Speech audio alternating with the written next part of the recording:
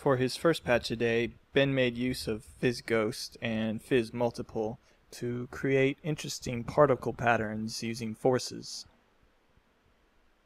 Andrew also decided to use PhysGhost and PhysMultiple, and he added six GL cameras to create this video feedback cube. Corey wanted to explore uh, dynamic concave shapes surrounding simple rigid bodies, and he used matrix output from a grid shape crossfaded with jit.noise.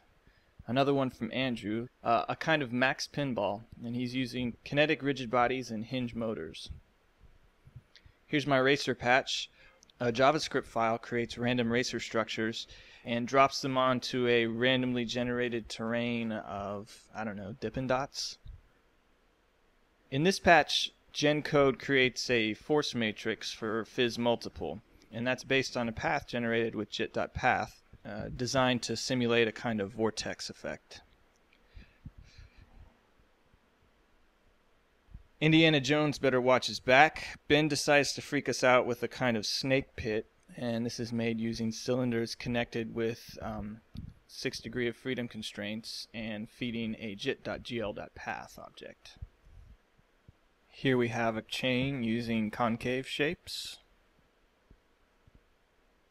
Basis function generator used to dynamically modify terrain.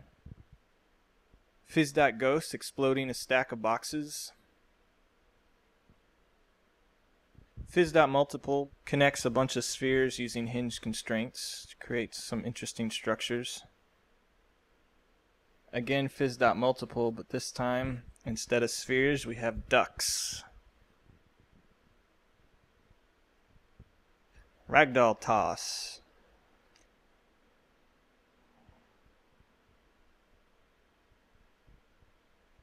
Not everything has to be 3D. If you're afraid of that third dimension, PhysWorld works fine in 2D mode.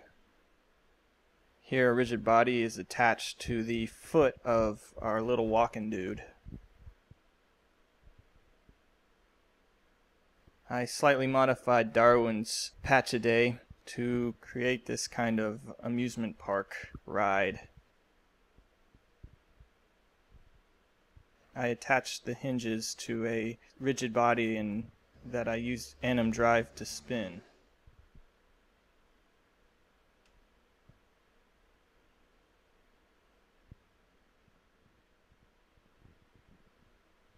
This patch pulls the skeleton information out of a Collada file and creates a structure of anim node objects allowing you to attach rigid bodies and control the, the model skeleton. This can be used to do inverse kinematics on the model's limbs